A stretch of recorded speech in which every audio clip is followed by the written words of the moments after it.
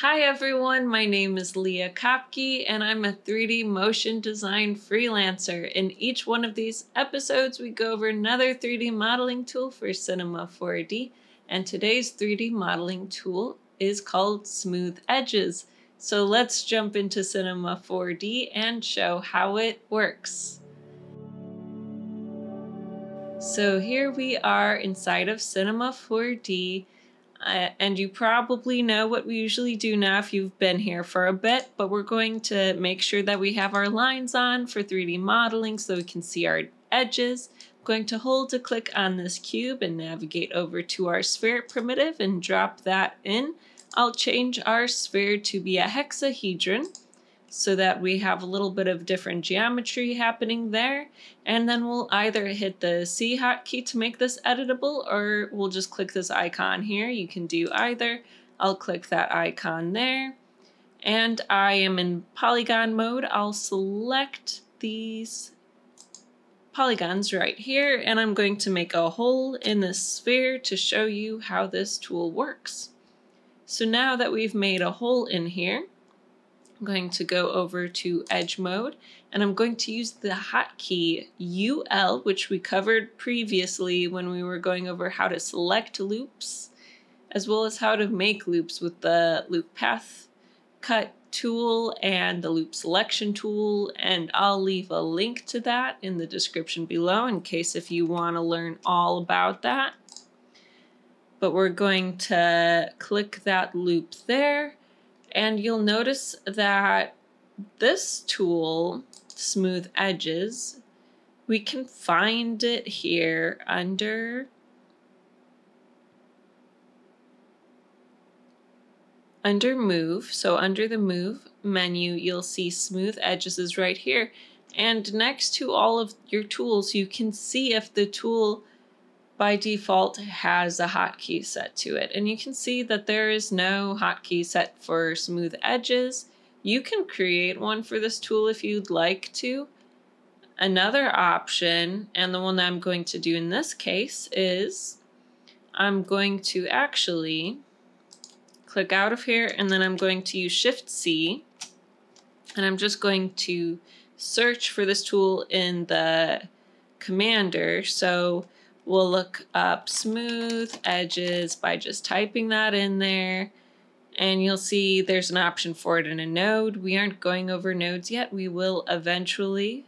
I think it's first good to just cover all the tools by themselves.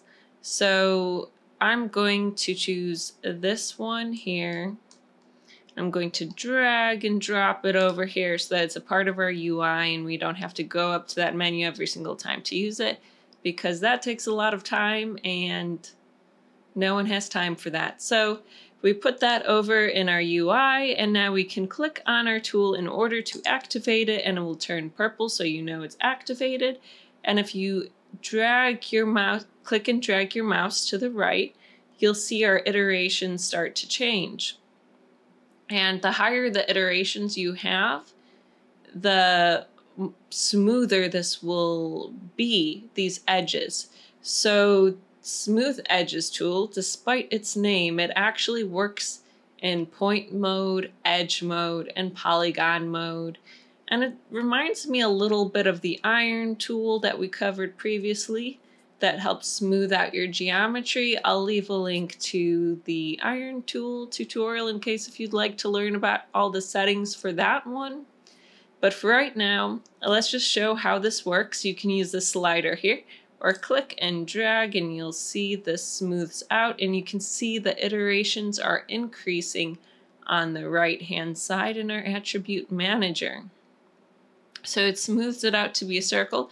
If you move your mouse to the left, you'll decrease those iterations. To the right, you increase them, or you can just use that slider when you have real-time update on, it will update in real time. You'll notice that we don't have select outline as an option right now and it's grayed out. And that's because the edges are already selected. But let's say we hit undo. And instead of selecting that loop using edge mode, what if we selected it using points? So I can use the hotkey UL again and we'll select a loop of points. So now we have our point selected. We can click on smooth edges again. And this time, select outline is no longer grayed out. We can select that right there. And there's different ways you can go about this. You can, again, click and drag your mouse, or you can choose a number of iterations and hit apply. So we'll do it a different way this time just so you know all of your options. So I'll hit apply. And now since we have select outline on, if I were to change modes from point mode to edge mode, you can see that we have those edges selected. And again, that might be useful if you want to extrude those edges or something like that for 3D modeling purposes or whatever you'd like to do, you can continue to 3D model based off of this. Maybe you make a spider, I don't know, you can 3D model whatever you want. Anywho, let's move on to what else you can do with this tool. So, I mentioned earlier it works in polygon mode, but let's make something that's kind of a crazy shape for us to fix. So I'm going to drop in a plane here. I'm going to make it one width segment by one height segment. And I'm going to just scale it down a little bit. And I scaled it down using the T hotkey, by the way. T is for scale. If I hit T, you can see our axes change how it looked a little bit, and then you can scale it by dragging your mouse and clicking once again. And then the E hotkey is for moving, and we can move this over to the right. And now that we have this moved over to the right, we can select this edge after we make this editable. So we need to make this editable in order to select any edges and model off of this plane. So you can again do that as we did before by clicking this icon here or using the C hotkey, whichever you prefer. And now we can select this edge.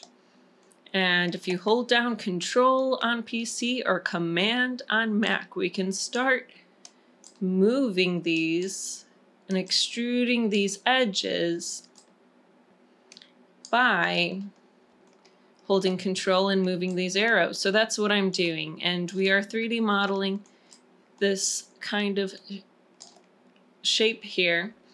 And the reason why I want to do that is I want to show you how powerful this tool is. So this is kind of a weird shape and we can select these edges here. So I used UL again, I'll select here and I'll select this loop here. And now that we've done that, we can use smooth edges here. And you can see this is a weird shape and how easily this tool just smooths out that geometry. It is a powerful tool. I'm going to hit undo again. We can do the same thing with polygons. So this time I'll use our hotkey UF, and that's the hotkey for fill selection. And I'll leave the link to that tutorial on fill selection down below in case if you are jumping into this series in the middle and you haven't learned about that. And I'll use UF in order to select all of our polygons. And now I'll use smooth edges once again, and I'll drag this to the right, and you can see it's smoothing out those polygons. And it smooths it out into what looks like pretty much a perfect circle almost. It's pretty incredible. And you can actually over smooth things a little bit, so, you know, keep that in mind. But if we still have select outline, so if we go back into edges, you'll see we have our outline selected. So again, this is just a helpful tool for smoothing out your meshes. It's another option besides the iron tool. And depending on what you're doing, you might find it easier to use this one sometimes, and you might find it easier to use the iron tool sometimes. It just depends on what you're working on and what's best for your 3D modeling process. And I truly believe that there's not one right way to 3D model. There's a ton of right ways to 3D model, but if you learn all the tools, you can find the fastest, most efficient, best way for you that you enjoy. And that is why we have this series. So I hope you enjoyed learning about this tool today. And if you'd like to learn more 3D modeling tools, you can be notified by hitting the like button or the subscribe button. And that, of course, helps me out too. And I always appreciate it. And thank you for spending some time 3D modeling with me. And I'll see you again next week on Ambient 3D Animations.